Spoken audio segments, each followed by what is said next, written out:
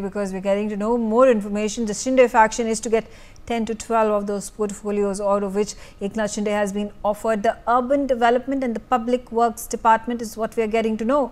Daryl, uh, you know, if, if this is true, this is big rev revelation.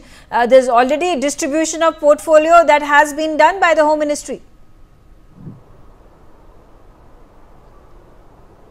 Megha, if you see yesterday when the talks between these leaders took place with Amit Shah, it was clearly said to them that the portfolio, the cabinet portfolio alloc allocation should be decided in Mumbai.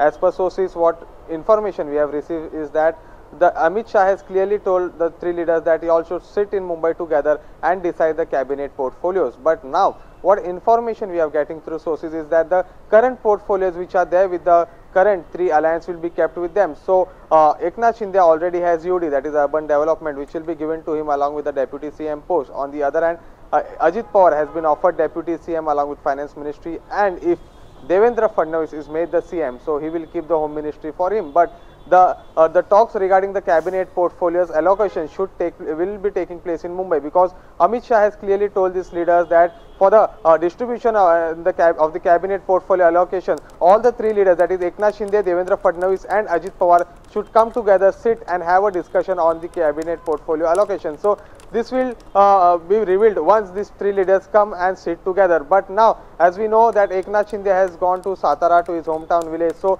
this will only happen when Eknath Shinde comes to Mumbai. So this meeting is now set to take place on Sunday evening once Eknath okay. Shinde comes back to Mumbai. Megha. Okay, all right. Uh, let's take a look at more information. Uh, sources have revealed to NewsX that